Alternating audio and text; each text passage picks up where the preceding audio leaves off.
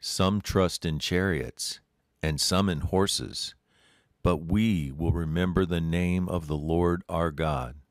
Psalm 20, verse 7. Top of the morning to you. When we consider Hebrews 11:1 with the mind of love and a firm determination to get to know God better, we find out that faith is the assurance of things hoped for. The simple statement has a lot packed into it. Faith def- uh, defined is complete trust and confidence in someone or something. Assurance is defined as confidence. Hope is defined as the expectation or desire for something to happen. So, to put this all together, in terms of God, we are completely confident in our God and His Word. In fact, this faith inspires us to obey His Word by taking steps of faith because we hope in what He says is truth. There are different levels of faith. Intellectual faith, James 2:19 says, even demons believe and shudder at the name of Jesus. They just refuse to obey. Then there's the dead faith as explained in James 2:26. Faith without works is dead. Then there's the saving faith, John 3:16, whoever believes in Jesus shall not perish but have eternal life. And Ephesians 2, 8 through 10, you are saved by grace through faith. So thanks to our loving faith in God through Jesus, we are sure in the things we hope for. What do we hope in?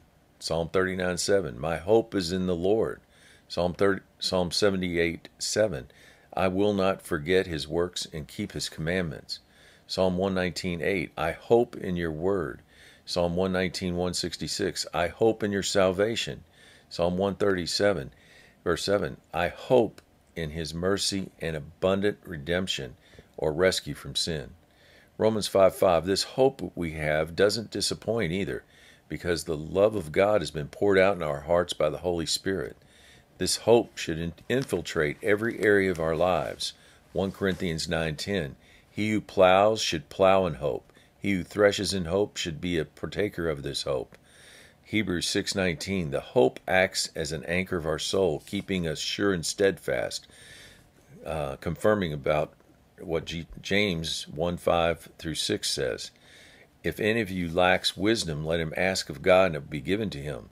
But let him ask in faith, with no doubting, for he who doubts is unstable in all his ways. A word of encouragement. While it's important to have faith, hope, and love, it's most important to have love. 1 Corinthians 13 13. That's because with love as our base, we won't be subject to fear. In other words, perfect love casts out all fear. 1 John 4 18. Deception, 2 Thessalonians 2 10. Selfishness, pride, and idolatry. All are killers of the faith and hope. Nobody said it would be easy, as in as Luke 13:24 says, we strive to enter through the narrow gate. Have a great day.